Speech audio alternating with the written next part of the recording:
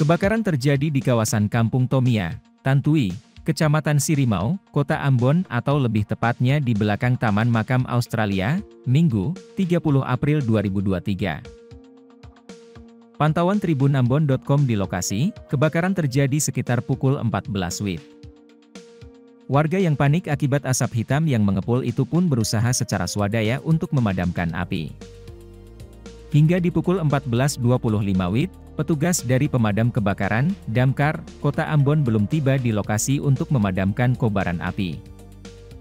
Belum diketahui berapa unit rumah dilahap si jago merah dan kerugian yang dialami.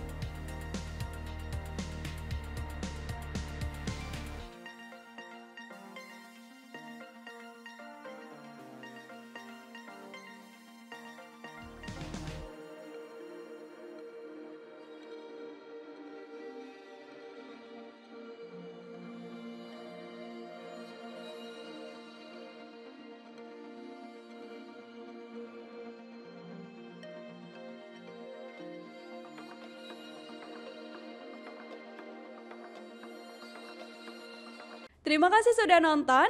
Jangan lupa like, subscribe, dan share ya.